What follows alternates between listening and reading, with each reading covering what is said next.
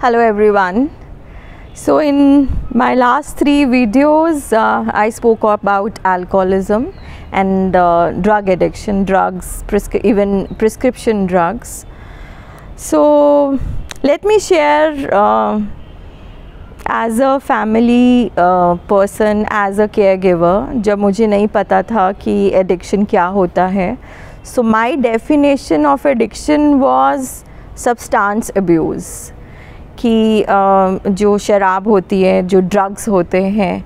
but I mean I was surprise that even after being so educated I didn't know addiction का जो basically मतलब होता है, वो डिपेंडेंस होता है। So when physically emotionally psychologically जब हम किसी चीज़ पर डिपेंडेंट हो जाते हैं so it's more than use and abuse so so, जब डिपेंडेंस की बात आती है तो जैसे हमने अल्कोहल की बात करी अल्कोहल डिपेंडेंस होता है ड्रग्स पे डिपेंडेंस होता है दवाइयों पे डिपेंडेंस हो जाता है। So dependence is not just limited to that I mean, uh, nowadays uh, we can talk about uh, mobile addiction, mobile dependence, uh, dependence upon um, you know any kind of games, uh, gambling. Uh, it can be sex. So um, to conclude um, all the three uh, you know videos about uh, our talks regarding uh, addiction, कि addiction एक dependence है and it is a disease of brain disorder अब वो dependence alcohol पे भी हो सकता है ड्रग्स पर भी हो सकता है रिलेशनशिप का हो सकता है किसी भी चीज़ पर हो सकता है सो so, जब हम एक चीज़ पर डिपेंडेंट हो जाते हैं there are chemical changes in a brain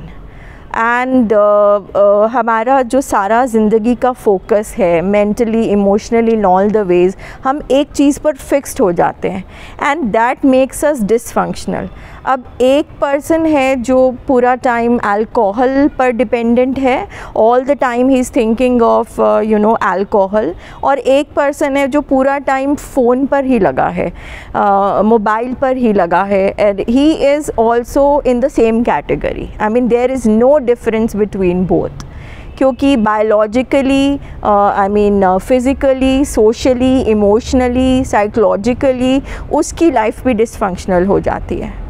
so I learn कि एडिक्शन जो है वो एक डिज़ीज़ है। जब ये डिपेंडेंस होता है तो हम जिस पर भी डिपेंडेंट होते हैं चाहे वो अल्कोहल है या मोबाइल है तो uh, हम उस चीज़ को अब्यूज़ करते रहते हैं even though we are getting harmful effects I mean उसके result are bringing you know it is damaging our life मगर फिर भी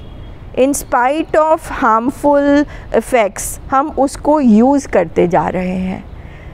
So this is what i learned uh, when uh, i came into the treatment for my family members where I realise कि ये एक bio psycho social disease है uh, जिसमें even दवाइयाँ because it's a disease of brain brain mind they are interrelated you can separate अगर brain आपका अगर आपकी बॉडी में किसी तरह का डिसफंक्शनैलिटी है स्टमक में कोई इशू है सो डेफिनेटली डाइजेशन में प्रॉब्लम होगा. सिमिलरली अगर ब्रेन में बिकॉज़ ब्रेन से ही हम सब कुछ सोचते हैं सो so, अगर उसमें कोई नुक्स आ गया है if there is a disorder it has to be treated physically with medication so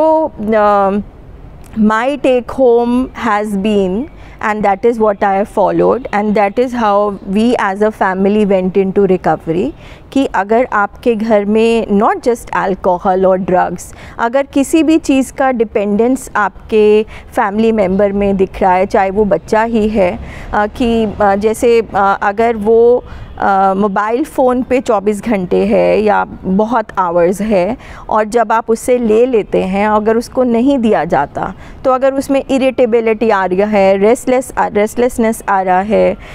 या उसे गुस्सा चढ़ता है सो so, अगर किसी भी चीज़ को ना मिलने से अगर हमारे को इतना इफ़ेक्ट हो रहा है that means now there is an issue so as I always request that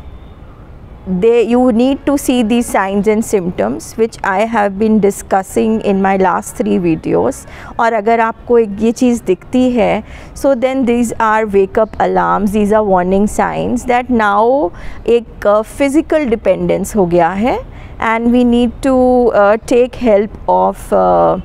uh, mental health professionals and there should be we should not feel ashamed of it i mean because uh, these are serious issues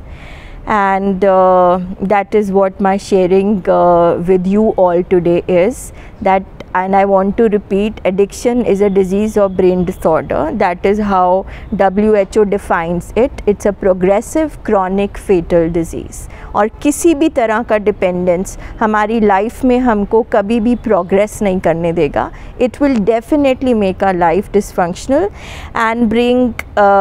you know disharmony